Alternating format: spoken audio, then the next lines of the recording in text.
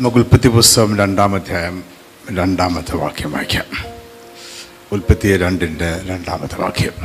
താൻ ചെയ്ത പ്രവൃത്തിയൊക്കെ ദൈവം തീർത്ത ശേഷം താൻ സകല പ്രവൃത്തിയിൽ നിന്നും ഏഴാം ദിവസം നിവൃത്തനായി.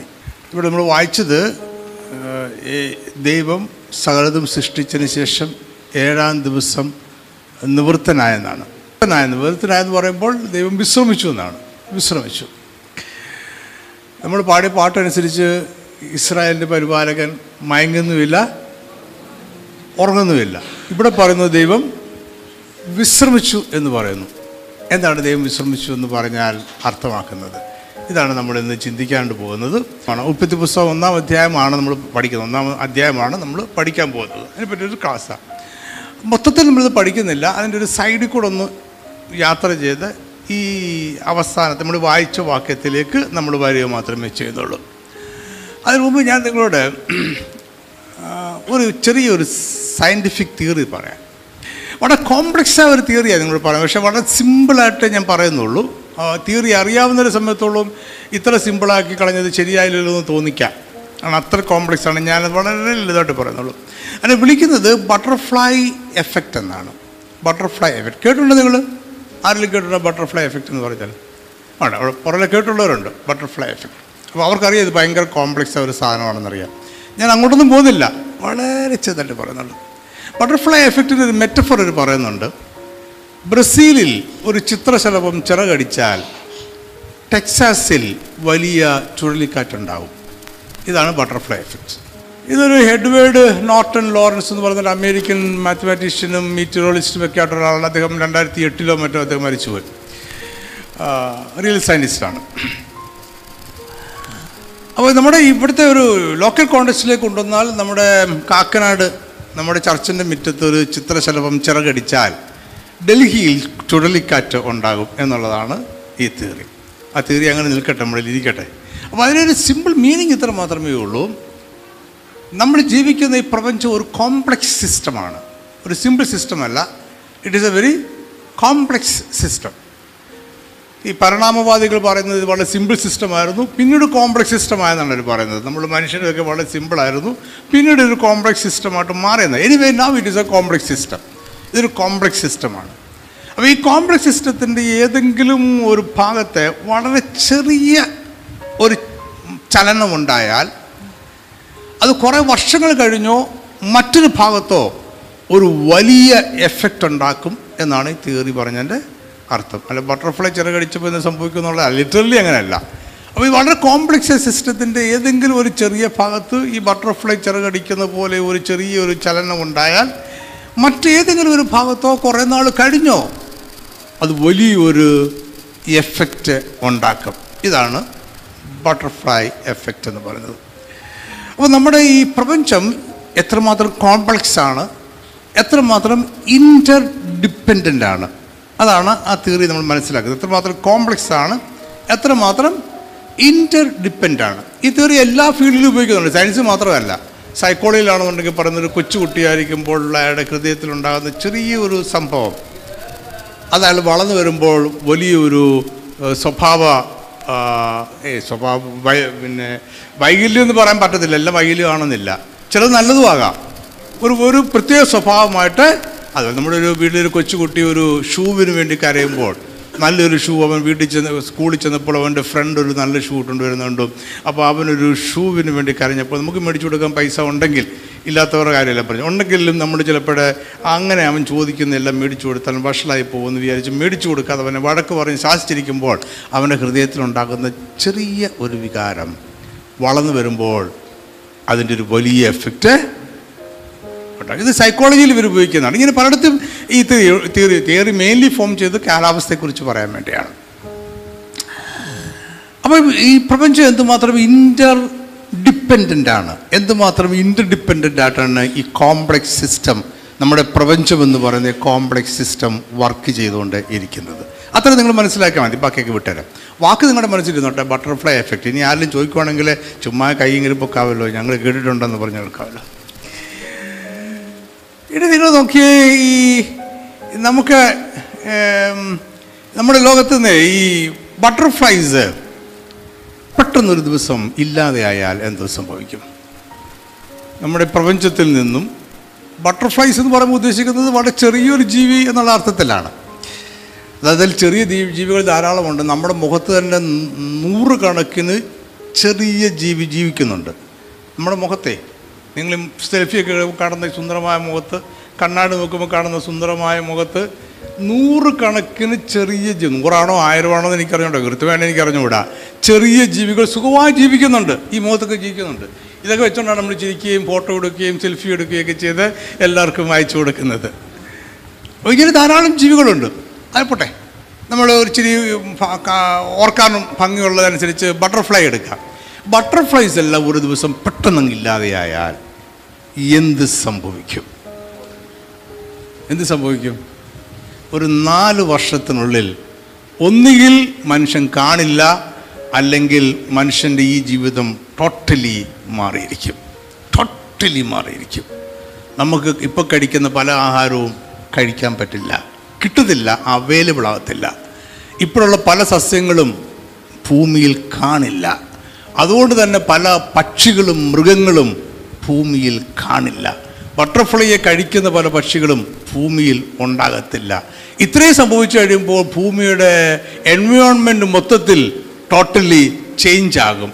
ആ ചേഞ്ച് ആകുന്ന എൻവയോൺമെന്റിൽ ഒന്നുകിൽ നമ്മൾ കണ്ടേക്കാം അല്ലെങ്കിൽ ചിലപ്പോൾ നമ്മൾ ടോട്ടലി എന്ത് ചെയ്യാം? മാറിയേക്കാം. വളരെ വ്യത്യസ്തനായിട്ടുള്ളൊരു മനുഷ്യനായിട്ട് മാറും. അപ്പോൾ നമ്മൾ കോംപ്ലക്സ് ആയിരിക്കുന്ന നമ്മുടെ ഈ എൻവയോൺമെന്റ് നമ്മുടെ ഈ പ്രപഞ്ചം നമ്മുടെ ഈ ഭൂമി ഒരു ചെറിയ വ്യത്യാസം എവിടെയെങ്കിലും ഉണ്ടായാൽ അത് ഈ പ്രപഞ്ചത്തെ അതിഭയങ്കരമായിട്ട് ബാധിക്കും. അത്ര നിങ്ങൾക്ക് മനസ്സിലായോ? മനസ്സിലായ ദൈവത്തെ സ്തുതിച്ചാട്ടെ. ഓക്കെ. ഇതിന് അടിസ്ഥാനമായ വാക്യങ്ങളൊന്നും ഇല്ല കേട്ടോ. ഇതൊരു സയൻസ് ഞാൻ പറഞ്ഞത്. അടിസ്ഥാനപരമായ വാക്യങ്ങൾ ഇല്ല. ഇത് നിങ്ങളുടെ മനസ്സിലിരിക്കണം. ബാക്ക് ഡ്രോപ്പായിട്ട് എനിക്ക് ചിലപ്പോൾ എപ്പോഴും ഞാൻ ഇനി പറയാൻ പോകുന്ന കാര്യങ്ങളുമായിട്ട് എന്നെ കണക്ട് ചെയ്യാൻ എനിക്ക് പറ്റുന്നു വരത്തില്ല. പക്ഷേ നിങ്ങളുടെ മനസ്സിൽ ഞാൻ ഈ പറഞ്ഞ കാര്യം ഉണ്ടായിരിക്കണം. ഇന്നത്തെ ഈ ആ, ഒന്നാം ഒന്നാമത്തെ നമ്മൾ പഠിക്കാൻ പോകുമ്പോൾ പക്ഷെ നമ്മൾ ഉൽപ്പത്തി ഒന്നാം അധ്യായം പഠിക്കുമെന്നാണ് ഞാൻ പറഞ്ഞത്. പക്ഷേ നമ്മൾ വായിച്ച വാക്ക് ഉൽപ്പത്തി രണ്ടിന്റെ രണ്ട് മൂന്ന് വായിച്ചത് രണ്ടിന്റെ മൂന്നും നമുക്ക് വായിക്കാം. പക്ഷെ നമ്മൾ പഠിക്കാൻ പോകുന്ന ഒന്നാം അധ്യായമാണ്. അതിന് കാരണമുണ്ട്. ഓർക്കുന്നുണ്ടോ? ഞാൻ നേരത്തെ നിങ്ങളോട് പറഞ്ഞൊരു കാര്യമുണ്ട്. പൗലോസ് എന്നെ അനുകരിപ്പീൻ എന്ന് പറഞ്ഞതിനെ കുറിച്ച് ഞാനൊരു മെസ്സേജ് പറഞ്ഞിരുന്നു. നിങ്ങൾ ഓർക്കുന്നില്ലായിരിക്കും. ഞാൻ പറഞ്ഞു. ഞാൻ പറഞ്ഞായിട്ട് എനിക്ക് ഓർമ്മയുണ്ട്. കാരണം വീണ്ടും വീണ്ടും ഞാനിത് പറയാതിരിക്കണമല്ലോ. അതുകൊണ്ട് ഞാൻ ഓർക്കുന്നുണ്ട്. അപ്പോൾ അങ്ങനെ ആ മെസ്സേജ് പറഞ്ഞപ്പോൾ നിങ്ങളൊരു കാര്യം പറഞ്ഞു. വേദപുസ്തകം എഴുതിയപ്പോൾ ഇതിനകത്ത് കുത്തും കോമായും ചാപ്റ്ററും വാക്യങ്ങളും ഒന്നും ഉണ്ടായിരുന്നില്ല. അതൊന്നും ഉണ്ടായിരുന്നില്ല. പിന്നെ എന്താണ് ഈ ചാ ഈ കുത്തും കോമായും ചാപ്റ്ററും വാക്യങ്ങളൊക്കെ വന്നത്? ഏകദേശം പതിമൂന്നാം നൂറ്റാണ്ടിന്റെ തുടക്കത്തിലാണ് ഇതിനെ അധ്യായങ്ങളെടുത്തിരിക്കുന്നത് ഞാൻ വിശദമായിട്ട് പോകുന്നില്ല. ഞാൻ നിങ്ങളോട് നേരത്തെ പറഞ്ഞാണ് നിങ്ങൾക്ക് ചിലപ്പോൾ ഓർമ്മ കാണുമായിരിക്കും. സ്റ്റീഫൻ ലാങ്ടൺ എന്ന് പറയുന്ന ഒരു കാൻഡർബറിയിലെ ആർച്ച് ബിഷപ്പ് അദ്ദേഹം ആർച്ച് ബിഷപ്പ് ആകുന്നതിന് മുമ്പ് പാരീസ് യൂണിവേഴ്സിറ്റിയിലായിരുന്നു ആ സമയത്താണ് അദ്ദേഹം അധ്യായങ്ങളായിട്ട് തിരികെ പന്ത്രണ്ട് പൂജ്യം അഞ്ചിലാണ് അദ്ദേഹം അതിനെ അധ്യായങ്ങളായിട്ട് തിരിക്കുന്നത്. ലാറ്റിൻ ബൈബിളാണ് ആദ്യം അധ്യായമായിട്ട് തിരിക്കുന്നത്.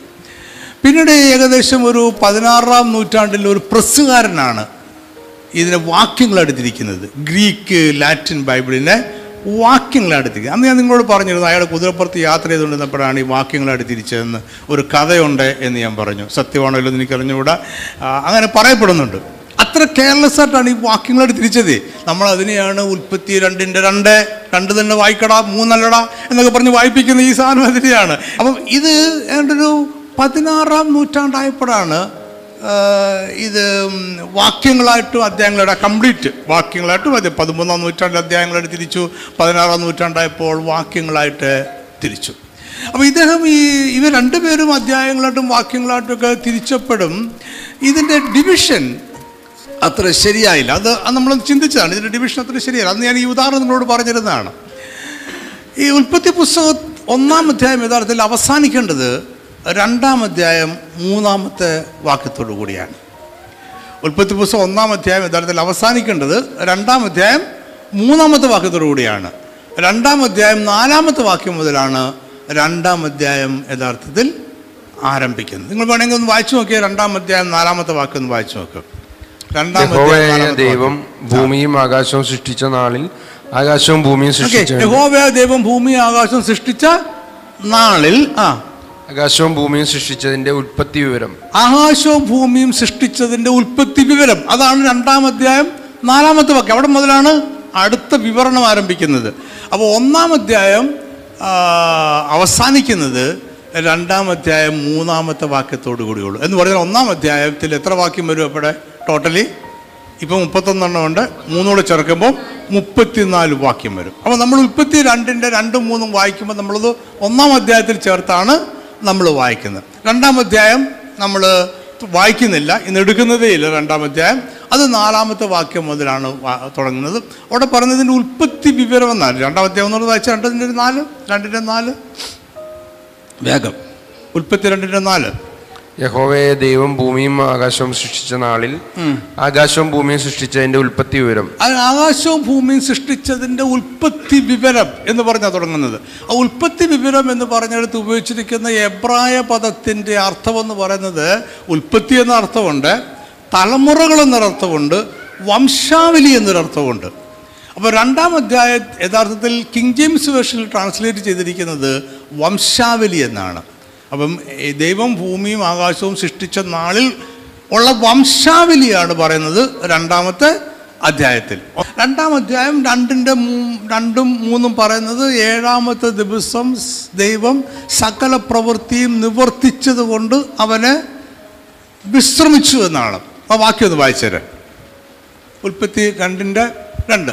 താൻ ചെയ്ത പ്രവൃത്തിയൊക്കെയും ദൈവം തീർത്ത ശേഷം താൻ ചെയ്ത സകല പ്രവൃത്തിയിൽ നിന്നും ഏഴാം ദിവസം നിവർത്തനായി. അപ്പം എന്തൊക്കെ സൃഷ്ടിച്ചു എന്ന് നിങ്ങൾക്കറിയാം. ഞാൻ അതിലേക്ക് പോകുന്നില്ല. അതുകൊണ്ടാണ് ഞാൻ പറഞ്ഞത് നമ്മൾ ഈ ഒന്നാം അധ്യായത്തിന്റെ ഒരു വശം ചേർന്നേ പോകുന്നുള്ളൂ എന്ന് ഞാൻ പറഞ്ഞത്. മൊത്തത്തിൽ നമ്മൾ പോകുന്നില്ല. എന്തൊക്കെ സൃഷ്ടിച്ചു? ആ സൃഷ്ടികൾ എങ്ങനെയൊക്കെയാണ് നടത്തിയത്? അതിന്റെ ക്രമം? അതൊക്കെ നിങ്ങൾക്കറിയാം. അതിനെപ്പറ്റി ഒത്തിരി തർക്കങ്ങളുണ്ട് തിയറികളുണ്ട്. അതിലേക്കൊന്നും നമ്മൾ പോകുന്നതേയില്ല. നമ്മളിനി ചിന്തിക്കുന്നത് ഈ രണ്ടാമത്തെ വാക്യത്തിൽ ദൈവം പറയുന്നത് അനുസരിച്ച് അവൻ സകല പ്രവൃത്തികളും നിവർത്തിച്ച ശേഷം സകല പ്രവൃത്തികളും അവൻ പൂർത്തീകരിച്ച ശേഷം അവൻ വിശ്രമിച്ചു. അവന്റെ പ്രവൃത്തിയിൽ നിന്നും ഏഴാം ദിവസം വിശ്രമിച്ചു. അപ്പോൾ നമ്മൾക്ക് അറിയാവുന്ന പോലെ തന്നെ ഈ സൃഷ്ടിപ്പിന്റെ ചരിത്രം നമുക്ക് ആറ് ദിവസമല്ല ഉള്ളത്. ഏഴ് ദിവസമാണുള്ളത് സൃഷ്ടിപ്പിന്റെ ചരിത്രം നമ്മൾ പറയുന്നത് സെവൻ ഡേയ്സ് ആണ്. സെവൻ ഡേയ്സ് പെർ വീക്ക് അല്ലെ സെവൻ ഡേയ്സ് എ വീക്ക് എന്ന് പറയുന്ന പാറ്റേൺ ഉണ്ടാകുന്നത് ക്രിയേഷനുമായിട്ട് ബന്ധപ്പെട്ട സൃഷ്ടിപ്പുമായിട്ട് ബന്ധപ്പെട്ടാണ്. സിക്സ് പ്ലസ് വൺ അല്ല ഇറ്റ് ഈസ് സെവൻ ഡേയ്സ് ആണ്. സെവൻ ഡേയ്സ് എന്ന് പറയുമ്പോൾ ആറ് ദിവസം കൊണ്ട് ദൈവം എല്ലാം സൃഷ്ടിച്ചു. ഏഴാമത്തെ ദിവസത്തിൽ ദൈവം സൃഷ്ടി പൂർത്തീകരിച്ച് അവൻ വിശ്രമിച്ചു. ആ ഏഴ് ദിവസത്തെ ദിവസം കൂടി ചേർത്തിട്ടാണ് നമ്മുടെ സൃഷ്ടിപ്പിന്റെ ചരിത്രം നമ്മൾ പറയുന്നത്. അപ്പോൾ ഏഴാമത്തെ ദിവസം ദൈവം പൂർത്തീകരിച്ചു എന്ന് പറയുമ്പോൾ നമ്മൾ തുടക്കത്തിൽ പറഞ്ഞതുപോലെ ദൈവത്തിന് മയക്ക് മയങ്ങുന്നില്ല ഇസ്രായേലിന്റെ പരിപാലകൾ മയങ്ങുന്നില്ല ഉറങ്ങുന്നതുമില്ല. എന്ന് പറയുമ്പോൾ ഏഴാമത്തെ ദിവസം ദൈവം വിശ്രമിച്ചത് അവൻ മയങ്ങാൻ വേണ്ടിയോ ഉറങ്ങാൻ വേണ്ടിയോ ആയിരുന്നില്ല. അപ്പോൾ ഏഴാമത്തെ ദിവസം ദൈവം ആറ് ദിവസം ദൈവം സൃഷ്ടിച്ചു.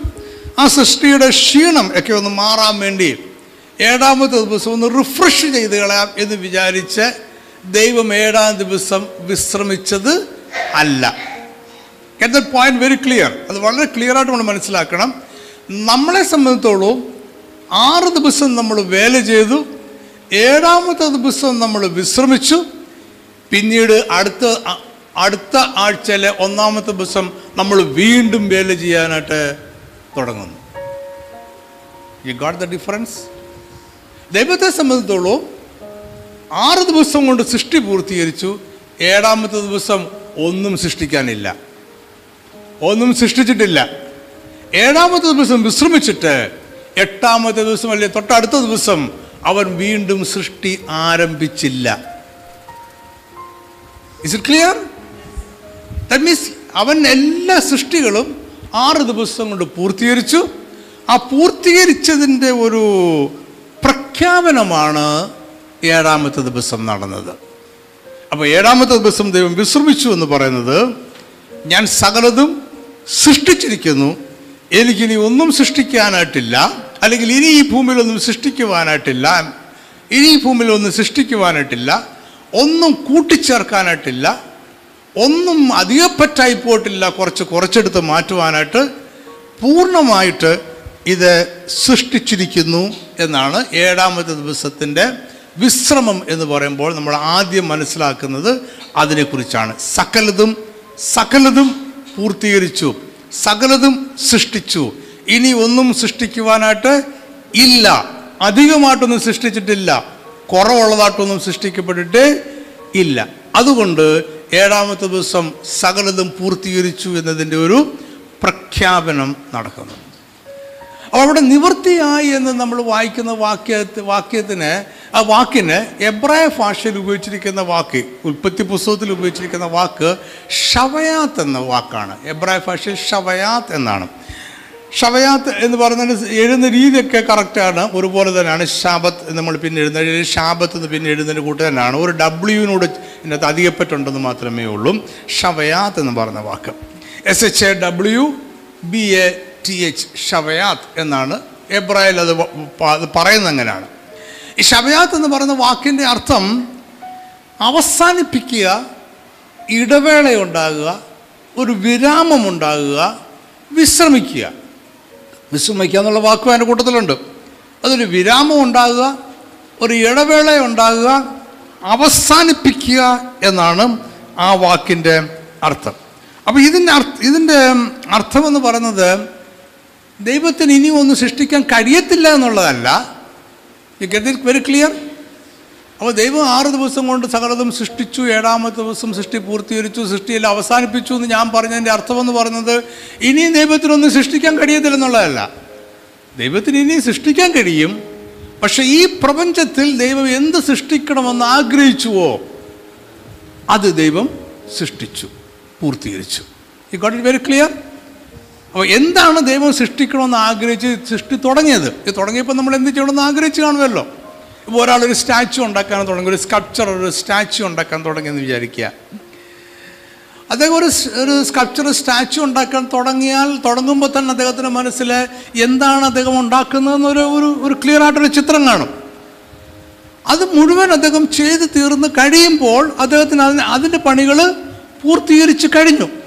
അതിനർത്ഥം അദ്ദേഹത്തിന് വീണ്ടും മറ്റൊരു സ്റ്റാച്ചു ഉണ്ടാക്കാൻ കഴിയത്തില്ല എന്നുള്ളതല്ല ദൈവം എന്ത് ചെയ്യാനായിട്ട് തുടങ്ങിയോ എന്ത് സൃഷ്ടിക്കാനായിട്ട് തുടങ്ങിയോ അത് മുഴുവൻ ദൈവം സൃഷ്ടിച്ച് കഴിഞ്ഞു. അതിന്റെ പൂർത്തീകരണം അതാണ് ഷവയാത് അതാണ് ഷവയാത് ഈ ഷവയാത്ത് എന്നുള്ള വാക്ക് തന്നെയാണ് പിന്നീട് ലേവ്യ പുസ്തകം ഇരുപത്തഞ്ചാമത്തെ വാക്യത്തിലേക്ക് വരുമ്പോൾ ഷാബത്ത് എന്നുള്ള വാക്ക് വരുന്നത്. അല്ലെ മലയാളത്തിൽ വരുമ്പം ശബത്ത് എന്നുള്ള വാക്ക് വരുന്നത്. ഒരേ വാക്ക് തന്നെയാണ്.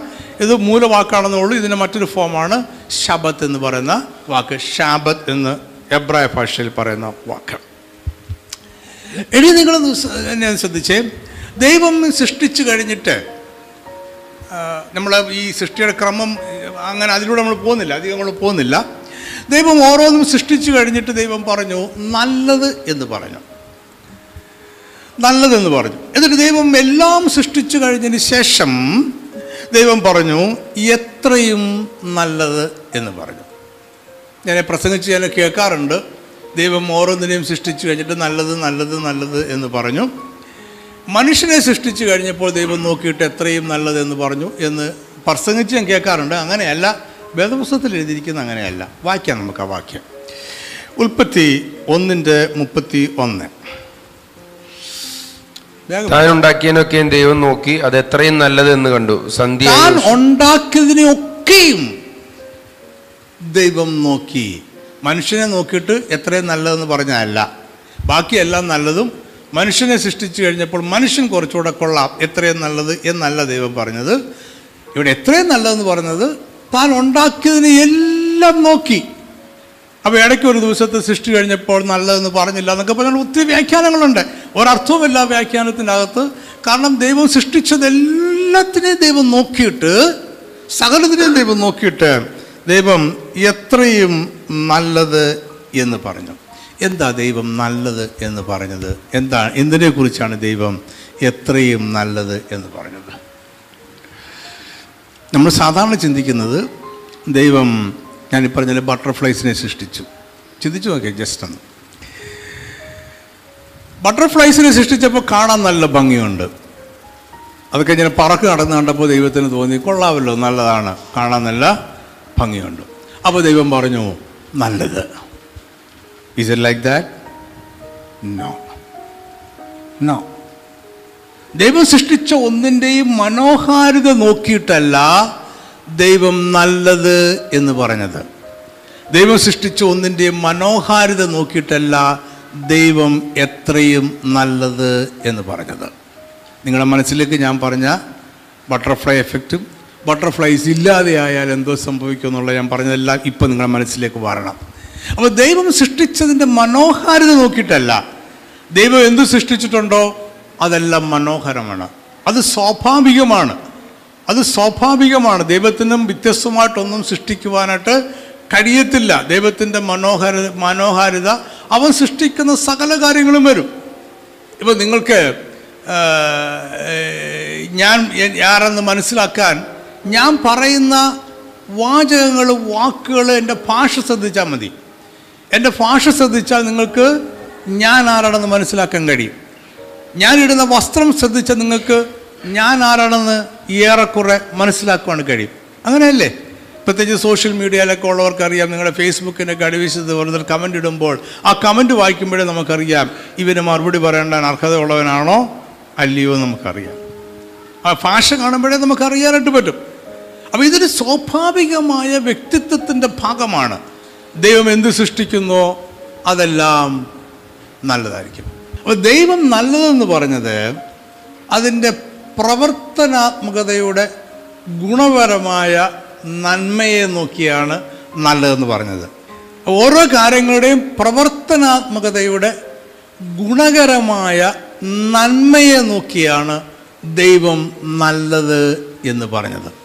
ഇംഗ്ലീഷിൽ പറഞ്ഞാൽ qualitative goodness of functionality qualitative goodness of functionality see ഞാൻ പറഞ്ഞ ഇത് വാക്ക് നിങ്ങൾ ആലോചിച്ച് നോക്കിയേ. പ്രവർത്തനാത്മകതയുടെ ഗുണകരമായ നന്മ. ആ വാക്കുകൾ ഒന്നുകൂടി ഒന്നുകൂടി വായിച്ചു നോക്കിയേ. പ്രവർത്തനാത്മകത. പ്രവർത്തനം. പ്രവർത്തനം. അതറിയാവില്ല എല്ലാവർക്കും ഇല്ലേ? പ്രവർത്തനം. പ്രവർത്തനം. അതിന്റെ ഗുണം അതിന്റെ നന്മ. അത്രേ ഞാൻ പറഞ്ഞുള്ളൂ. അത്രേ പറഞ്ഞുള്ളൂ. പ്രവർത്തനം അതിന്റെ ഗുണം അതിന്റെ നന്മ. ഇംഗ്ലീഷ് ഞാൻ എന്താ പറഞ്ഞത്? ഫങ്ഷണാലിറ്റി ഇംഗ്ലീഷ് അറിയാവുന്ന എല്ലാവർക്കും ആ വാക്ക് സിമ്പിളായിട്ട് മനസ്സിലാക്കണം. ഫങ്ഷണാലിറ്റി അപ്പോൾ ദൈവം ചിത്രശലഭത്തെ സൃഷ്ടിച്ചത് അതിനൊരു ഫങ്ഷനുണ്ട് അഴിവേദ്മി എന്നെ ഫോളോ ചെയ്യുന്നുണ്ടല്ലോ നിങ്ങൾ? മനുഷ്യനെ സൃഷ്ടിച്ച് അവിടെ നിൽക്കട്ടെ കേട്ടോ. അതിലേക്ക് നമുക്ക് പിന്നീട് വരാം. നമുക്ക് ബാക്കിയുള്ള എൻവയോൺമെന്റിനെ പറ്റി ഇപ്പം ചിന്തിച്ചാൽ മതി. അപ്പോൾ ദൈവം ചിത്രശലഭത്തെ സൃഷ്ടിച്ചത് അതിനൊരു ഫങ്ഷനുണ്ട് ആ ഫങ്ഷൻ നല്ലതുപോലെ പ്രവർത്തിക്കുന്നു എന്ന് കണ്ടിട്ടാണ് ദൈവം എന്ത് പറഞ്ഞത്? നല്ലത് എന്ന് പറഞ്ഞത്. അല്ലാതെ അതിന്റെ ഭംഗി നോക്കിയിട്ടല്ല. ഭംഗിയൊക്കെ സ്വാഭാവികമായ കാര്യമാണ്. അതിന്റെ ഭംഗി നോക്കിയിട്ടല്ല ഓരോന്നും സൂര്യനെ സൃഷ്ടിച്ചു ചന്ദ്രനെ സൃഷ്ടിച്ചു നക്ഷത്രങ്ങളെ സൃഷ്ടിച്ചു. ആകാശമുണ്ടായി കരയുണ്ടായി സമുദ്രമുണ്ടായി സമുദ്രത്തിൽ ജീവികളുണ്ടായി സസ്യങ്ങളുണ്ടായി ഭൂമിയിൽ ജീവികളുണ്ടായി. ഇതെല്ലാം ഉണ്ടാക്കിയതിന് ദൈവത്തിന് ഒരു ഉദ്ദേശമുണ്ട്. അതിനൊരു ഫങ്ഷനുണ്ട്. അതിനൊരു ഫങ്ഷനുണ്ട്. എന്താണ് അതിന്റെ ഫങ്ഷൻ എന്ന് പറയുന്നത്? ഈ പ്രപഞ്ചത്തെ ഇങ്ങനെ തന്നെ പരിപാലിച്ച് മുന്നോട്ട് പോവുക എന്ന് പറഞ്ഞാണ്. ഇംഗ്ലീഷിൽ പറഞ്ഞാൽ ഈ പ്രപഞ്ചത്തെ ഇങ്ങനെ റൺ ചെയ്യുക ഇങ്ങനെ കീപ്പ് ചെയ്യുക. ഈ പ്രപഞ്ചത്തെ ഇങ്ങനെ റൺ ചെയ്യുവാനുള്ള ഒരു ഫങ്ഷൻ ഉത്തരവാദിത്തമല്ല അവർക്കുള്ളത് ഒരു ഫങ്ഷൻ ഒരു ഫങ്ഷൻ ഇതിനുണ്ട് അതിനുണ്ട് ആ ഫങ്ഷൻ അത് നല്ലതുപോലെ നിവർത്തിക്കുന്നുണ്ട് എന്ന് കണ്ടിട്ട് ദൈവം പറഞ്ഞു നല്ലത് എത്രയും നല്ലത്. Nigh got it nigh got it അപ്പോൾ നിങ്ങളുടെ മുഖത്തിരിക്കുന്ന നിങ്ങൾക്ക് കാണാൻ കഴിയാത്ത ചെറിയ ചെറിയ ചെറിയ മൈറ്റ്സ് എന്ന് വിളിക്കുന്ന അണുക്കളുണ്ട്. അതിനൊരു ഫങ്ഷനുണ്ട് ആ ഫങ്ഷൻ ശരിയായി അത് ചെയ്യുന്നു എന്ന് കണ്ടപ്പോൾ ദൈവം പറഞ്ഞു നല്ലത്. അത് ഇച്ചിരി ഞെട്ടിക്കുന്ന സാധനമാണ്. ഇല്ല നമ്മുടെ മുഖത്തൊക്കെ ഇരിക്കുന്ന ഈ അണുക്കളെ നോക്കിയിട്ട് പോലും ദൈവം തമ്പുരാൻ പറഞ്ഞു നല്ലത്. ദൈവം എന്ത് സൃഷ്ടിച്ചിട്ടുണ്ടോ അതിന്റെ ഫങ്ഷൻ അതിന്റെ ഫങ്ഷണാലിറ്റി നോക്കിയിട്ട് അവൻ പറഞ്ഞു അത് നല്ലത് നല്ലതുപോലെ അത് പ്രവർത്തിക്കുന്നുണ്ട് എന്ന് പറഞ്ഞു. എന്ന് പറഞ്ഞാൽ ദൈവം ഈ പ്രപഞ്ചത്തിന്റെ നിലനിൽപ്പിനായിട്ടാണ് അവൻ ഈ ഭൂമിയിൽ ഈ പ്രപഞ്ചത്തിൽ കാണുന്ന സകലതിനെയും അവൻ സൃഷ്ടിച്ചത്. നക്ഷത്രങ്ങളെ സൃഷ്ടിച്ചതും സൂര്യനെ സൃഷ്ടിച്ചതും അവന് ആകാശത്തെ സൃഷ്ടിച്ചതും സമുദ്രത്തെ സൃഷ്ടിച്ചതും വെള്ളത്തെ സൃഷ്ടിച്ചതും വെളിച്ചത്തെ സൃഷ്ടിച്ചതും ഈ ഭൂമിയിലെ സസ്യങ്ങളെ സൃഷ്ടിച്ചതും സകല ജീവജാലങ്ങളെയും സൃഷ്ടിച്ചതും അവന് ഈ പ്രപഞ്ചത്തെ ഇങ്ങനെ റൺ ചെയ്യാൻ വേണ്ടിയാണ് ഇങ്ങനെ കീപ്പ് ചെയ്യാൻ വേണ്ടിയാണ് ഈ പ്രപഞ്ചത്തെ ഇങ്ങനെ സൂക്ഷിക്കാൻ വേണ്ടിയാണ് ഈ എൻവയോൺമെന്റിനെ ഇങ്ങനെ സൂക്ഷിക്കാൻ വേണ്ടിയാണ്. You got it got it agree or not അത് നമുക്ക് അടുത്ത സ്റ്റെപ്പിലേക്ക് മാറ്റി ചിന്തിച്ചാൽ മതി. ഇപ്പം നിങ്ങൾ എഗ്രി ചെയ്താലും ഇല്ലെങ്കിലും കുഴപ്പമൊന്നുമില്ല. നിങ്ങൾ മനസ്സിലാക്കിയാൽ മാത്രം മതി ഇപ്പോഴും ഞാനത്. അപ്പം ദൈവം ഈ എൻവയോൺമെന്റ് ദൈവം ഇങ്ങനെ സൃഷ്ടിച്ചു. ഇതെല്ലാം നല്ല ദൈവം ഉണ്ടാക്കി എല്ലാം നല്ലതെന്ന് പറഞ്ഞു. അപ്പോൾ ദൈവം എന്തിനാണ് ഈ സൃഷ്ടിപ്പ് നടത്താനായിട്ട് തീരുമാനിച്ചത്? ദൈവത്തിന്റെ ഉദ്ദേശം എന്തായിരുന്നു? സൃഷ്ടിപ്പിന്റെ പിന്നിലെ ദൈവത്തിന്റെ ഉദ്ദേശം എന്തായിരുന്നു? ദൈവത്തിന് കുറച്ച് ബട്ടർഫ്ലൈസിനെ സൃഷ്ടിക്കണം എന്ന് ആഗ്രഹിച്ചാണോ ദൈവം സൃഷ്ടിച്ചത്? ദൈവത്തിന് സൂര്യനെ വേണം ചന്ദ്രനെ വേണം എന്ന് ചിന്തിച്ചിട്ടാണോ ദൈവം സൃഷ്ടിച്ചത്? നമ്മൾ അതിലേക്കാണ് that is a main point of our our message ദൈവം ഒന്നാമതായിട്ട് മനസ്സിലാക്കേണ്ടത് സൃഷ്ടിപ്പ് എന്തിനാണെന്നുള്ളത് വേറൊരു ടോപ്പിക്കാണ് കേട്ടോ. മനുഷ്യനെ എന്തിനാണ് സൃഷ്ടിച്ചത്? ഭൂമി എന്തിനാണ് സൃഷ്ടിച്ചത്? That is totally a different topic ഞാൻ അതിലേക്ക് മൊത്തത്തിൽ പോകുന്നില്ല. ഒരു ചെറിയൊരു ഭാഗം ഞാൻ നിങ്ങളോട് പറയാം. ദൈവം സൃഷ്ടിച്ചതെല്ലാം അവന്റെ നന്മയ്ക്കായിട്ടാണ്. ഫോർ ഹിസ് ഗ്ലോറി നന്മ ഞാൻ ഉദ്ദേശിച്ചത് എന്തെങ്കിലും ഗുണം അവന് കിട്ടണമെന്ന് വിചാരിച്ചത് ആ സെൻസിലല്ല for his glory only for his glory. എന്തിനാണ് ദൈവം സൃഷ്ടിച്ചതെന്ന് ദൈവം എങ്ങും പറഞ്ഞിട്ടില്ല. ഞാൻ എന്തിനാണ് ഇതെല്ലാം സൃഷ്ടിച്ചത് എന്ന് എങ്ങും ദൈവം പറഞ്ഞിട്ടില്ല. പക്ഷെ ദൈവം ഈ സൃഷ്ടിപ്പ് നടത്തിയതെല്ലാം ഓൺലി ഫോർ ഹിസ് ഗ്ലോറി നമുക്കൊരു വാക്യം വായിക്കാം. കൊലോസർ ഒന്നിന്റെ പതിനാറ്. കൊലോസർ ഒന്നിന്റെ പതിനാറ്.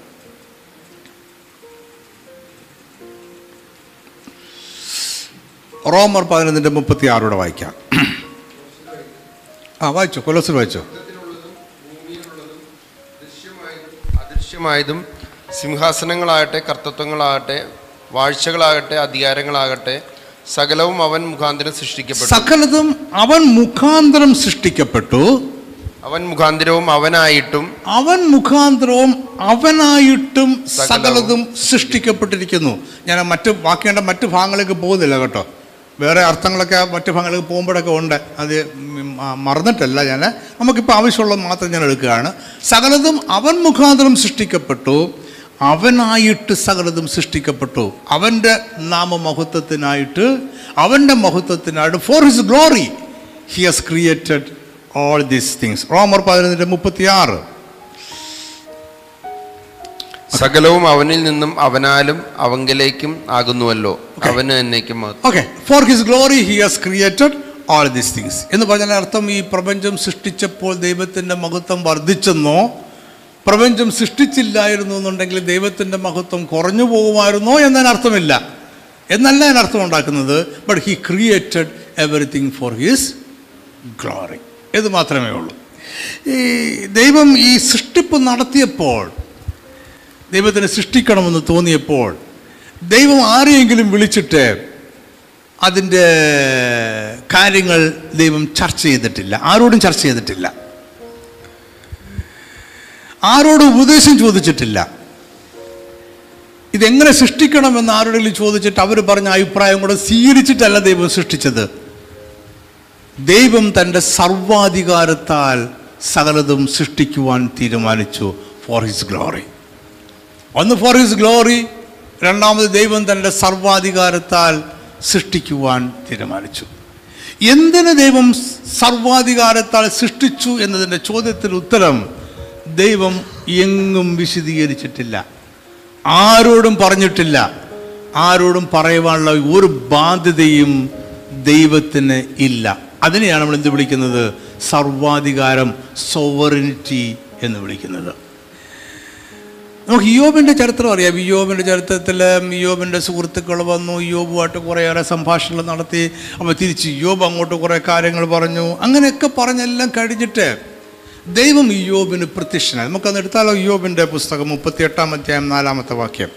മുപ്പത്തിയെട്ടിന്റെ നാലും മുപ്പത്തെട്ടിന്റെ ഏഴും നമുക്കൊന്ന് വായിക്കാം. വേഗം. ഞാൻ ഭൂമിക്ക് മുപ്പത്തിയെട്ടിന്റെ നാല്. ഞാൻ ഭൂമിക്ക് അടിസ്ഥാനമിട്ടപ്പോൾ നീ എവിടെയായിരുന്നു? നിനക്ക് വിവേകമുണ്ടെങ്കിൽ പ്രസ്താവിക്കുക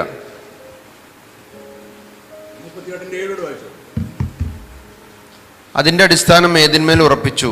അല്ല അതിന്റെ മൂലക്കല്ലിട്ടവൻ ആർ. അപ്പോൾ ദൈവം യോബിനോട് ചോദിക്കുന്ന ചോദ്യങ്ങളിലെ കുറച്ച് ചോദ്യമെല്ലാം സൃഷ്ടിയെക്കുറിച്ചാണ് ചോദിക്കുന്നത്. ഞാൻ ഈ സൃഷ്ടി നടത്തിയപ്പോൾ നീ എവിടെയായിരുന്നു?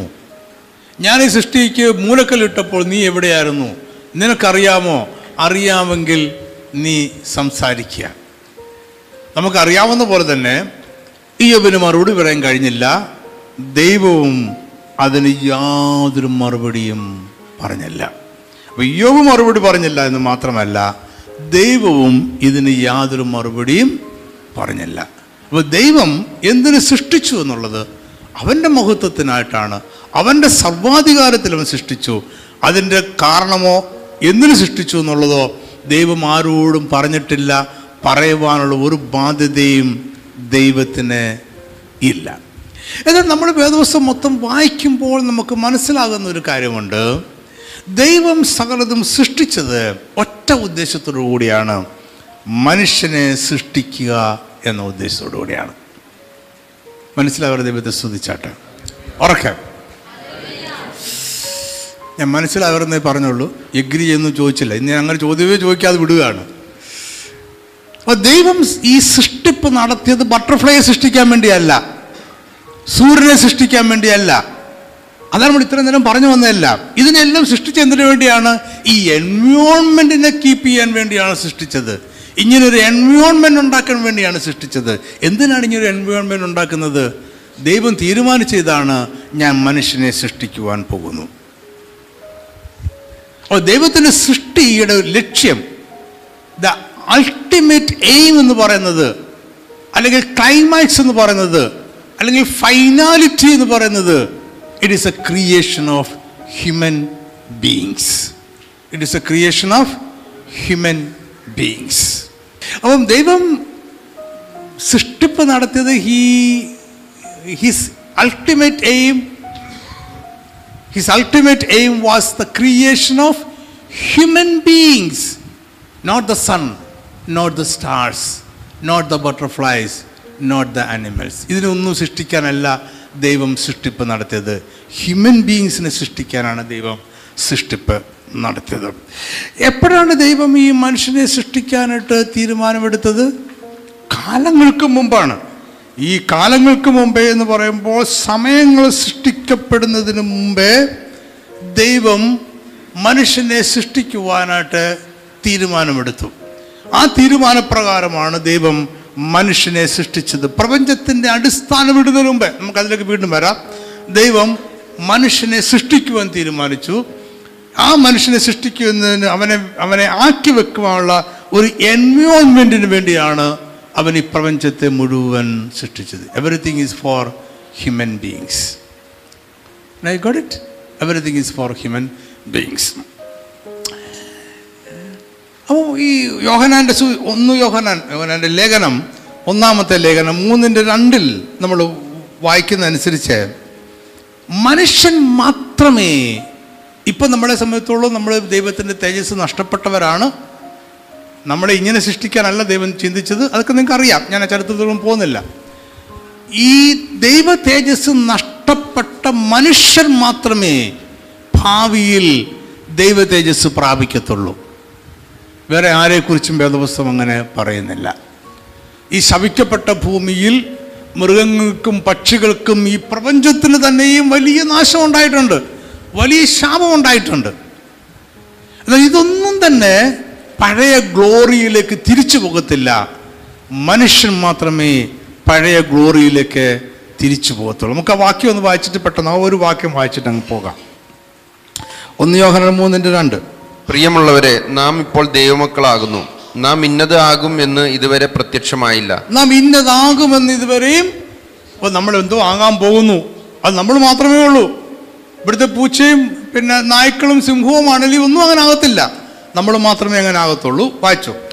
അവൻ പ്രത്യക്ഷനാകുമ്പോൾ നാം അവനെ അവനെ താനിരിക്കും പോലെ തന്നെ കാണുന്നതാകൊണ്ട്. അവനോട് സദൃശ്യന്മാരാകും. നമ്മൾ അവനോട് സദൃശ്യന്മാരാകും. വാക്യങ്ങൾ വേറെ ഒത്തിരി ഉണ്ട് ഞാൻ വായിക്കുന്നില്ല. നമ്മൾ അവരോട് സദൃശ്യന്മാരാകും. അപ്പൊ നമ്മളെ മാത്രം സൃഷ്ടിക്കുവാൻ നമ്മളെ സൃഷ്ടിക്കുവാനാണ് ദൈവം ആഗ്രഹിച്ചത്. നമുക്ക് വേണ്ടി നമ്മളായിരിക്കുവാൻ വേണ്ടിയുള്ള ഒരു എൻവയോൺമെന്റ് ആയിട്ടാണ് ദൈവം ഈ പ്രപഞ്ചത്തെ മുഴുവൻ സൃഷ്ടിച്ചത്. ഈ പ്രപഞ്ചത്തെ മുഴുവൻ ദൈവം വളരെ കോംപ്ലക്സായി ഇന്റർ ഡിപ്പെൻഡന്റ് ആയിട്ട് ദൈവം ഇതിനെ സൃഷ്ടിച്ചിരിക്കുകയാണ്. ഇതിന് ഓരോന്നിനും ഓരോ ഫങ്ഷനാലിറ്റി കൊണ്ട് ഇവിടെ സൃഷ്ടിച്ചിരിക്കുന്ന ഓരോ കാര്യങ്ങൾക്കും. എഫ് എസ് ലേഖനത്തിലേക്ക് നമുക്ക് പോകാം. ഒന്നിന്റെ നാലാമത്തെ വാക്യം. എഫ് എസ് ലേഖനം ഒന്നിന്റെ നാല്. വേഗം. നാം തന്റെ സന്നിധിയിൽ വിശുദ്ധരും നിഷ്കളങ്കരുമാകേണ്ടതിന് നാം തന്റെ സന്നിധി ദൈവത്തിന്റെ സന്നിധിയിൽ വിശുദ്ധരും നിഷ്കളങ്കരുമാകേണ്ടതിന് അവൻ ലോകസ്ഥാപനത്തിന് മുമ്പേ അവൻ ലോകസ്ഥാപനത്തിന് മുമ്പേ എപ്പോഴാണ് നമ്മളെ സൃഷ്ടിക്കാൻ തീരുമാനിച്ചത്? വാക്യങ്ങൾ ഒത്തിരി ഉണ്ട് കേട്ടോ ഞാൻ എല്ലാ വാക്യങ്ങളും വായിക്കാതെ അങ്ങ് പോവുകയാണ്. നമ്മളെ എപ്പോഴാണ് ദൈവം സൃഷ്ടിക്കാൻ തീരുമാനിച്ചത്? ഈ പ്രപഞ്ചം സ്ഥാപിക്കുന്നതിനും ദൈവം ആദ്യമേ പ്രപഞ്ചത്തിലേക്ക് വന്നു സൃഷ്ടിക്കാണ്ട് തുടങ്ങി സൂര്യനെ സൃഷ്ടിച്ചു വെളിച്ചം ഉണ്ടാകട്ടെ എന്നൊക്കെ പറഞ്ഞു. ഏറ്റവും അവസാനം എല്ലാം സൃഷ്ടിച്ചു കഴിഞ്ഞപ്പോൾ ദൈവത്തിന് തോന്നി എന്തോ ഒരു കുറവുണ്ട് എന്തെങ്കിലും ഒരെണ്ണം കൂടെ സൃഷ്ടിച്ചേക്കാം ബാക്കി ഒരെണ്ണം കാര്യം എന്റെ ഇരിപ്പുണ്ട്. എന്നാൽ അതുകൊണ്ട് എന്ത് ചെയ്തേക്കാം? മനുഷ്യനെ സൃഷ്ടിച്ചേക്കാം എന്ന് വിചാരിച്ചു. ദൈവം മനുഷ്യനെ സൃഷ്ടിച്ചു അപ്പോൾ ദൈവത്തിനുള്ള എല്ലാം തീർന്നു പോയി. അവസാനിച്ചു. ഏഴാമത്തെ ദിവസം പോയി കസരയിട്ട് അവൻ സ്വസ്ഥമായിട്ട് ഇരുന്നു. നോട്ട് ലൈക്ക് ദാറ്റ് ഇങ്ങനൊരു പ്രപഞ്ചം സൃഷ്ടിക്കണമെന്ന് ദൈവം ചിന്തിക്കുന്നതിന് മുമ്പേ. ഐ ഗോഡ് ഇറ്റ് ഇങ്ങനൊരു പ്രപഞ്ചം സൃഷ്ടിക്കണമെന്ന് ദൈവം ചിന്തിക്കുന്നതിനും മുമ്പേ അവൻ തീരുമാനിച്ചു. എന്താ തീരുമാനിച്ചത്? മനുഷ്യനെ സൃഷ്ടിക്കണം എന്ന് ദൈവം തീരുമാനിച്ചു. അപ്പോൾ ലോകസ്ഥാപനത്തിന് മുമ്പേ ദൈവം നമ്മളെ സൃഷ്ടിക്കണമെന്ന് ആഗ്രഹിച്ചു. നമ്മൾ വിശുദ്ധരും നിഷ്കളങ്കരുമായി ദൈവസന്നിധിയിൽ നിൽക്കണം എന്ന് ദൈവം തീരുമാനിച്ച് നമ്മളെ സൃഷ്ടിക്കുവാൻ ദൈവം തീരുമാനിച്ചു. അഞ്ചാമത്തെ വാക്യം പറയുന്നതനുസരിച്ച് യേശു ക്രിസ്തുവിൽ നമ്മളെ ദത്തെടുക്കേണ്ടതിനായി ദൈവം നമ്മളെ സൃഷ്ടിക്കുവാനായിട്ട് നമ്മൾ വിശുദ്ധരും നിഷ്കളങ്കരുമായി യേശു ക്രിസ്തുവിൽ നമ്മളെ ദത്തെടുക്കേണ്ടതിനായിട്ട് ദൈവം മനുഷ്യരെ സൃഷ്ടിക്കുവാൻ കാലങ്ങൾക്ക് മുമ്പേ ലോകസ്ഥാപനത്തിന് മുമ്പേ ഈ പ്രപഞ്ചം സ്ഥാപിക്കുന്നതിന് മുമ്പേ ഈ പ്രപഞ്ചം സ്ഥാപിക്കണമെന്ന് ദൈവം വിചാരിക്കുന്നതിനും മുമ്പേ മനുഷ്യനെ സൃഷ്ടിക്കുവാൻ ദൈവം തീരുമാനിച്ചു. വാക്യങ്ങൾ വേറെ ഒത്തിരി ഉണ്ട് ഞാൻ എല്ലാം വായിച്ച് സമയമെടുക്കുന്നില്ല സമയമില്ലാത്തത് കൊണ്ട് ഞാൻ പെട്ടെന്ന് അങ്ങ് പോവുകയാണ്. സങ്കീർത്തനം എട്ടിന്റെ മൂന്ന് മുതൽ താഴോട്ടുള്ള വാക്യങ്ങൾ നമുക്ക് വായിക്കാം. നിന്റെ വിരലുകളുടെ പണിയായ ആകാശത്തെയും നീ ഉണ്ടാക്കിയ ചന്ദ്രനെയും നക്ഷത്രങ്ങളെയും നോക്കുമ്പോൾ മർത്തിനെ നീ ഓർക്കേണ്ടതിന് അവൻ എന്ത്? മർത്തിനെ നീ ഓർക്കേണ്ടതിന് മറ്റുള്ളതിനെ കമ്പയർ ചെയ്യുമ്പോൾ മർത്തിനെ നീ ഓർക്കേണ്ടതിന് അവൻ എന്ത്? മനുഷ്യപുത്രനെ സന്ദർശിക്കേണ്ടതിന് അവൻ എന്ത് മാത്രം? ഇവിടെ സങ്കീർത്തനക്കാരൻ പറയുന്നത് ഞാൻ ബാക്കി അങ്ങ് വിടുകയാണ്. ഇവിടെ സങ്കീർത്തനക്കാരൻ പറയുന്നത് ഈ ആകാശത്തെയും നക്ഷത്രങ്ങളെയും ഒക്കെ കമ്പയർ ചെയ്ത് നോക്കുമ്പോൾ മനുഷ്യൻ വളരെ നിസ്സാരനായിട്ട് നമുക്ക് തോന്നും. നമുക്ക് തോന്നും. പക്ഷേ ദൈവം എന്ത് ചെയ്തിരിക്കുകയാണ്? അവൻ നമ്മളെ ഓർത്തു എന്ന് മാത്രമല്ല തേജസ്സും ബഹുമാനവും നമ്മളെ അണിയിച്ചിരിക്കുന്നു. അപ്പോൾ ഇവിടെ സങ്കീർത്തനക്കാരൻ പറഞ്ഞ മനുഷ്യൻ നിസ്സാരനാണെന്നുള്ള സന്ദേശം തരാനല്ല സങ്കീർത്തനക്കാരൻ ചിന്തിക്കുന്നത്.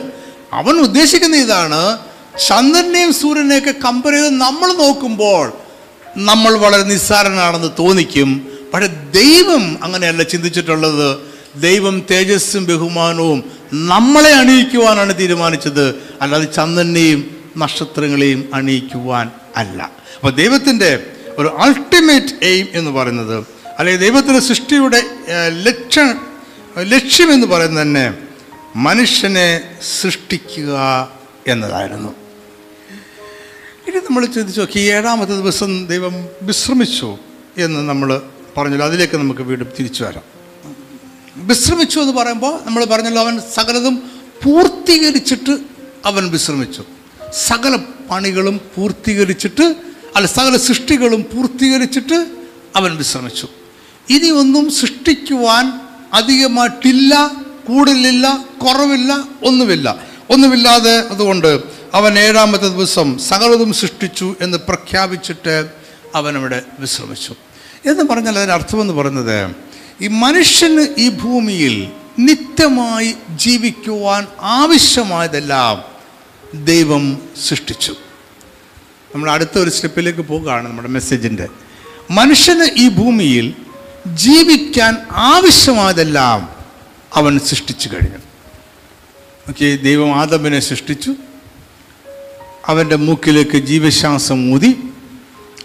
അവൻ ജീവനുള്ള ഒരു ദേഹിയായിട്ട് മാറി. അപ്പോൾ അവൻ ജീവനുള്ള ദേഹിയായി മാറിക്കഴിഞ്ഞപ്പോൾ അവൻ ശ്വാസം എടുക്കാൻ തുടങ്ങി. നിങ്ങൾ ചിന്തിക്കുന്നുണ്ട് എന്റെ കൂടെ? അല്ലേ അവൻ ജീവനുള്ള ദേഹിയായി മാറിയപ്പോൾ അവൻ ശ്വാസം എടുക്കാൻ തുടങ്ങി. അപ്പോഴാ ദൈവത്തിന് മനസ്സിലായത് ഓ ശ്വാസം വേണം ഇല്ലയോ? അപ്പോൾ ദൈവം ഉടനെ എന്ത് ചെയ്തു? വായുവിനെ സൃഷ്ടിച്ചു. വായുവിനെ സൃഷ്ടിച്ചപ്പോൾ ഇവനൊരു ശ്വാസം മുട്ടൽ പോലെ അപ്പോൾ ദൈവത്തിന് മനസ്സിലായി ഓ ഇവൻ ഓക്സിജൻ വേണോ ഇല്ലയോ എന്നാൽ വായുവിൽ കുറേ ഓക്സിജനെ കൂടെ it is not like that it is not like that it is not like that അപ്പോൾ ശവത്തെന്ന് പറയുന്നത് ദൈവം സകലതും നിനക്ക് വേണ്ടി നമുക്ക് വേണ്ടി കരുതിയിട്ടുണ്ട് എന്നാണ് അതിന്റെ അർത്ഥം എന്ന് പറയുന്നത്. ദൈവം ഏഴാമത്തെ ദിവസം വിശ്രമിച്ചു എന്ന് പറഞ്ഞാൽ മനുഷ്യന് ഈ ഭൂമിയിൽ ഈ ആവാസ വ്യവസ്ഥയിൽ ഈ എൻവിറോൺമെന്റിൽ നിത്യമായി ജീവിക്കുവാൻ ആവശ്യമായതെല്ലാം ഞാൻ സൃഷ്ടിച്ചു കഴിഞ്ഞു. ഞാൻ അവന് വേണ്ടി കരുതിയിട്ടുണ്ട്. അവന് വേണ്ടി ഞാൻ കരുതിയിട്ടുണ്ട്. അപ്പോൾ ഏഴാമത്തെ ദിവസത്തിൽ നിവർത്തിക്കു നിവർത്തിയായി എന്ന് പറഞ്ഞ വാക്ക് നമ്മൾ നേരത്തെ പറഞ്ഞു. ഷവയാത്ത് എന്നാണ് ആ വാക്കിന്റെ അർത്ഥം. ആ വാക്കിൽ നിന്നാണ് പിന്നീട് ഷാബത്ത് എന്ന് പറയുന്ന വാക്ക്. ലേവ്യ പുസ്തകം നമ്മൾ ഇരുപത്തിയഞ്ചിലേക്ക് വരുമ്പോൾ ഷാബത്ത് എന്ന് പറയുന്ന വാക്കുണ്ടാകുന്നത്. അതാണ് നമ്മൾ മലയാളത്തിൽ ശബത്ത് എന്ന് പറയുന്നത്. അപ്പോൾ ശബത്ത് എന്ന് പറയുന്ന വാക്കിന്റെ അർത്ഥം പല അർത്ഥങ്ങളുണ്ട്. പരീക്ഷന്മാരുടെ കാലമൊക്കെ വന്നപ്പോഴേക്കും ശബത്ത് എന്ന് പറഞ്ഞാൽ വീടൊക്കെ അടച്ചു പൂട്ടി അതിനെ തിരുന്നു അങ്ങനെ ഒത്തിരി നിയമങ്ങൾ ഭയങ്കര നിയമങ്ങളൊക്കെ ഉണ്ട്.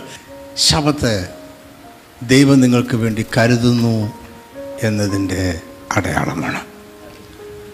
ശബത്ത് നിങ്ങളുടെ മേൽ അടിച്ചേൽപ്പിക്കപ്പെടുന്ന ഒരു ദിവസമല്ല. ദൈവം നിങ്ങൾക്ക് വേണ്ടി കരുതുന്നു. ഈ ഉൽപ്പത്തി പുസ്തകത്തിൽ ദൈവം ആദമനോടും ഹവയോടും ശബത്ത് ആചരിക്കണമെന്ന് പറഞ്ഞില്ല. പിന്നീട് പറയുന്നില്ല. പിന്നീട് പറയുന്നത് പുറപ്പാട് പുസ്തകത്തിലാണ് പറയുന്നത്. പുറപ്പാട് പുസ്തകത്തിൽ ഇവർ മരുഭൂമിയിൽ ആയിരുന്നപ്പോൾ ഇവർക്ക് കഴിക്കാൻ ആഹാരം അവർ കൊണ്ടുവന്ന ആഹാരം എല്ലാം തീർന്നു പോയി സീൻ മരുഭൂമിയിലേക്ക് അവർ വന്നപ്പോൾ. പിന്നെ മരുഭൂമിയുടെ ഉൾപ്രദേശത്തേക്ക് കയറാൻ പോവുക വെള്ളവും ആഹാരമൊക്കെ തീർന്നു പോയി. അവർ പണ പടക്കമൊക്കെ ഇട്ടു. ദൈവം പറഞ്ഞു ഞാൻ നിങ്ങൾക്ക് മന്ന തരാം. എല്ലാ ദിവസവും മന്ന പൊഴിച്ച് തരാം. നമ്മൾ അവസാനത്തിലേക്ക് വന്നു കേട്ടോ. അവസാനം ലാസ്റ്റ് പാർട്ടിലേക്ക് വന്നു. ഇപ്പം എല്ലാ ദിവസവും നിങ്ങൾക്ക് മന്ന പൊറിച്ചാൽ നിങ്ങൾ ആറ് ദിവസം മന്ന പെറുക്കണം. ഏഴാമത്തെ ദിവസം ശബത്ത് ദിവസമാണ്. അത് വിശ്രമത്തിന്റെ ദിവസമാണ്. പക്ഷേ ആറാമത്തെ ദിവസം നിങ്ങൾ മന്ന പെറുക്കി വീട്ടിൽ ചെന്നിട്ട് നിങ്ങൾ നോക്കുമ്പോൾ സാധാരണ മറ്റെല്ലാ ദിവസങ്ങളിൽ പെറുക്കിയതിനേക്കാളിലും ഇരട്ടി ഉണ്ടായിരിക്കും. ആ ഇരട്ടി ഉള്ളത് നിങ്ങൾക്ക് എന്ത് ചെയ്യാം? ഏഴാമത്തെ ദിവസം കരുതാം. ഞാൻ പറഞ്ഞു നിങ്ങൾ ശ്രദ്ധിക്കണേ.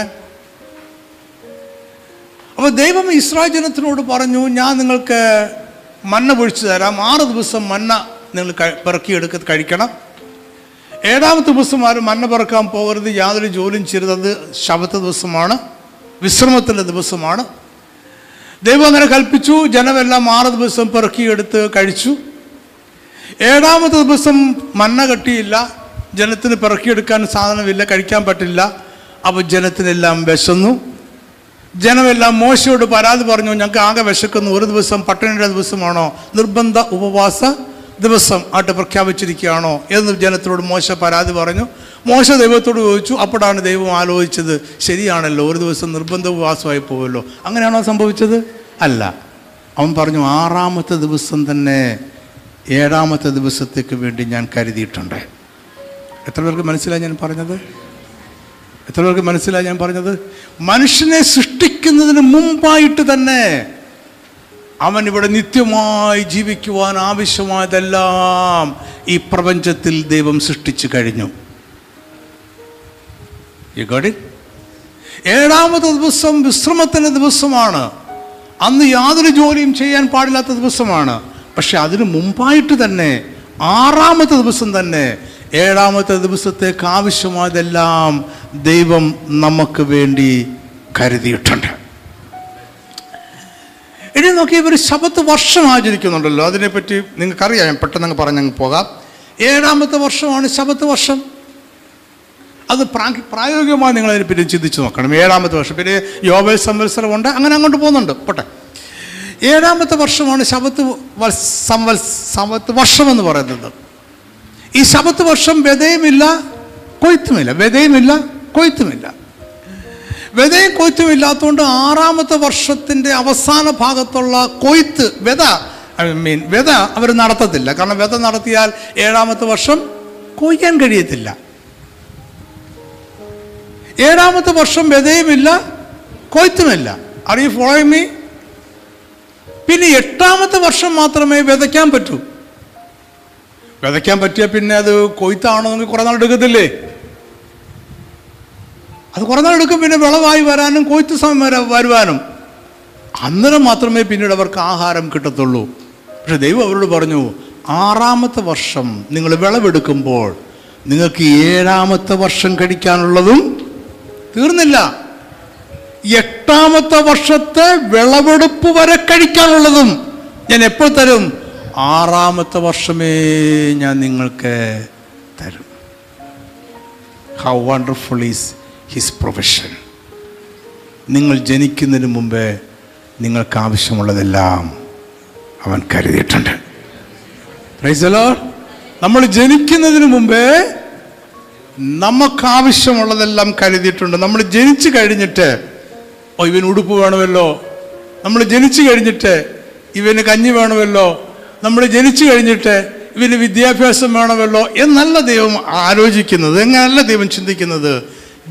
ജനിക്കുന്നതിന് മുമ്പേ ദൈവം സകലതും കരുതിയിട്ടുണ്ട്. അതാണ് ശബത്ത് അതാണ് ശബത്ത് അതാണ് ഉൽപ്പത്തി പുസ്തകം രണ്ടാമധ്യായം രണ്ടാം വാക്യം മൂന്നാം വാക്യം പറയുന്നത്. നമുക്ക് ഒന്നുകൂടെ വായിച്ചു നോക്കാം ആ വാക്യം എന്നിട്ട് നമുക്ക് അവസാനിപ്പിക്കാം. വായിച്ചോളൂ. താൻ ചെയ്ത പ്രവൃത്തിയൊക്കെയും ദൈവം തീർത്ത ശേഷം താൻ ചെയ്ത സകല പ്രവൃത്തിയിൽ നിന്നും ഏഴാം ദിവസം നിവർത്തനായി. ദൈവം സകല പ്രവൃത്തിയിൽ നിന്നും ഏഴാം ദിവസം നിവൃത്തനായി താൻ സൃഷ്ടിച്ചുണ്ടാക്കിയ സകല പ്രവൃത്തിയിൽ നിന്നും അന്ന് നിവർത്തനായതുകൊണ്ട് ദൈവം ഏഴാം ദിവസത്തെ അനുഗ്രഹിച്ച് ശുദ്ധീകരിച്ചു. താൻ സൃഷ്ടിച്ചുണ്ടാക്കിയ സകല പ്രവൃത്തിയിൽ നിന്നും അന്ന് നിവൃത്തനായി അന്ന് അവൻ വിശ്രമിച്ചു അന്ന് ശബത്ത ദിവസമായി എന്ന് പറഞ്ഞാൽ സകലതും നമ്മൾക്ക് വേണ്ടി കരുതിയിട്ടുണ്ട്.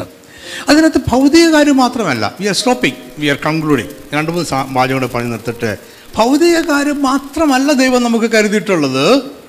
പിന്നെയോ ആത്മീയമായ നിത്യമായ രക്ഷയ്ക്കായിട്ടുള്ളതും ദൈവം നമുക്ക് വേണ്ടി മുന്നമേ കരുതിയിട്ടുണ്ട്.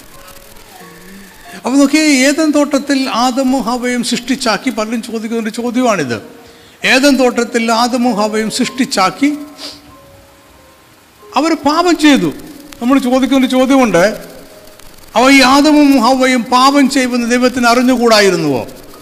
പിന്നീട് എന്തിനാണ് അവരെ സൃഷ്ടിച്ചാക്കിയത്? അവർ പാപം ചെയ്ത് കഴിഞ്ഞപ്പോൾ ഇവർ മരിക്കുവാൻ പോകുകയാണെന്ന് ദൈവത്തിന് മനസ്സിലായി. അപ്പോൾ ദൈവം പ്ലാൻ ബി ദൈവം പുറത്തെടുത്തു. പ്ലാൻ ബി ദൈവം പുറത്തെടുത്തിട്ട് പറഞ്ഞു ഇല്ല നിങ്ങൾക്ക് വേണ്ടി ഞാൻ രക്ഷകനെ കരുതാം. Is it like that no it is not like that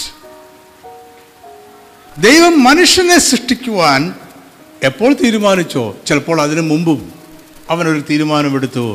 അവരേക്ക് നിത്യജീവനായി യാഗമായി തീരുവാനും ഒരുവനെ അവൻ കരുതി. അപ്പോൾ നമ്മുടെ ഭൗതികമായ കാര്യങ്ങൾക്ക് വേണ്ടി അവൻ മുന്നമേ കരുതിയിട്ടുണ്ട്. നമ്മൾ ജനിക്കുന്നതിന് മുമ്പേ നമുക്ക് വേണ്ടി അവൻ കരുതിയിട്ടുണ്ട്. മനുഷ്യൻ സൃഷ്ടിക്കപ്പെടുന്നതിന് മുമ്പേ അവർ നിത്യമായി ജീവിക്കുവാൻ ആവശ്യമായ ഒരു ആവാസ വ്യവസ്ഥ ഒരു എൻവയോൺമെന്റ് ദൈവം സൃഷ്ടിച്ചിട്ടുണ്ട്. അവിടെയാണ് ദൈവം മനുഷ്യനെ ആക്കിയത്. അതിനുശേഷമല്ല. ഇത് മാത്രമല്ല നമ്മുടെ നിത്യജീവന് ആവശ്യമായതെല്ലാം ദൈവം നമ്മളെ സൃഷ്ടിക്കുന്നതിന് മുമ്പേ കരുതിയിട്ടുണ്ട്. ഒരു വാക്യം നമുക്ക് വായിക്കാം.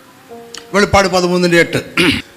ലോകസ്ഥാപനം മുതൽ അർക്കപ്പെട്ട കുഞ്ഞാടിന്റെ ജീവപുസ്തകത്തിൽ രണ്ട് രീതിയിൽ ഈ വാക്യം വായിക്കാറുണ്ട്. അത് ഞാൻ മനസ്സിൽ വെച്ചുകൊണ്ട് തന്നെയാണ് ഇപ്പോൾ പറയുന്നത്. ലോകസ്ഥാപനം മുതൽ അർക്കപ്പെട്ട കുഞ്ഞാടിന്റെ ജീവ ജീവപുസ്തകത്തിൽ. പുസ്തകത്തിൽ രണ്ടിൽ ഏത് രീതിയിലാണ് നമുക്ക് വായിക്കാവുന്നതേ ഉള്ളൂ? അപ്പോൾ ലോകസ്ഥാപനം മുമ്പേ അറക്കപ്പെട്ട ദൈവത്തിന്റെ കുഞ്ഞാട് നമ്മുടെ കർത്താവ് ഈ ഭൂമിയിൽ നമുക്ക് വേണ്ടി യാഗമായി തീരണം എന്നുള്ള തീരുമാനം മനുഷ്യൻ പാപത്തിന് ശേഷം എടുത്തതല്ല. മനുഷ്യൻ സൃഷ്ടിക്കപ്പെടുന്നതിന് മുമ്പേ ലോകസ്ഥാപനം മുതൽ അവനെടുത്ത തീരുമാനമാണ്. നമുക്ക് മറ്റൊരു വാക്യം കൂടെ വായിച്ചിട്ട് നിർത്താം. എഫ് എസ് ആർ ഒന്നിന്റെ നാല് വായിക്കാം. എഫ് എസ് ആർ ഒന്നിന്റെ നാല് എഫ് എസ് ആർ മൂന്നിന്റെ പതിനൊന്നോടെ വായിക്കാം നമുക്ക്. എന്നിട്ട് നിർത്താം നമുക്ക്. നാം തന്റെ സന്നിധിയിൽ വിശുദ്ധരും നിഷ്കളങ്കരും ആകേണ്ടതിന് അവൻ ലോകസ്ഥാപനത്തിന് മുമ്പേ നമ്മെ അവനിൽ തിരഞ്ഞെടുക്കുകയും അവൻ ലോകസ്ഥാപനത്തിന് മുമ്പേ നമ്മളെ അവൻ തെരഞ്ഞെടുക്കുകയും തന്റെ സന്നിധിയിൽ വിശുദ്ധരും നിഷ്കളങ്കരുമാകേണ്ടതിന് എങ്ങനെയാണ് നമ്മൾ വിശുദ്ധരും നിഷ്കളങ്കരുമാകേണ്ടത് ക്രിസ്തേശുവിലൂടെ മാത്രമേ ഉള്ളൂ. അപ്പോൾ ക്രിസ്തേശുവിനെയും അവൻ നമുക്ക് വേണ്ടി മുന്നമേ കരുതിയിരുന്നു. ഒരു വാക്യങ്ങൾ വായിച്ചാലോ? എഫ് എസ് മൂന്നിന്റെ പതിനൊന്ന്. അവൻ നമ്മുടെ കർത്താവായ യേശു ക്രിസ്തുവിൽ നിവർത്തിച്ച അനാദി നിർണയപ്രകാരം മതി മതി. അനാദി നിർണയപ്രകാരം അനാദി നിർണയപ്രകാരം അനാദിയിൽ നിർണയിച്ച പ്രകാരം അങ്ങനെയാണ് നമ്മൾ രക്ഷിക്കപ്പെട്ടത്. അപ്പോൾ നമ്മുടെ ഭൗതികമായ നന്മയ്ക്ക് വേണ്ടി മാത്രമല്ല നമ്മുടെ ആത്മീയമായ നന്മയ്ക്ക് വേണ്ടിയും നമ്മുടെ നിത്യജീവനായിട്ടുള്ളതും ദൈവം ലോകസ്ഥാപനത്തിന് മുമ്പേ കരുതിയിരുന്നു. അത് കരുതി വെച്ചിട്ടാണ് ദൈവം നമ്മളെ ഈ ഭൂമിയിലാക്കിയത്. നിങ്ങൾ ജനിക്കുന്നതിന് മുമ്പേ നിങ്ങൾക്ക് ആവശ്യമുള്ളതെല്ലാം ദൈവം കരുതിയിട്ടുണ്ട്. അതുകൊണ്ട് നമ്മുടെ കർത്താവ് പറഞ്ഞത് എന്ത് തിന്നും എന്ത് കുടിക്കും എന്നോർത്ത് നിങ്ങൾ വിചാരപ്പെടരുത്. പ്രിസലാണ്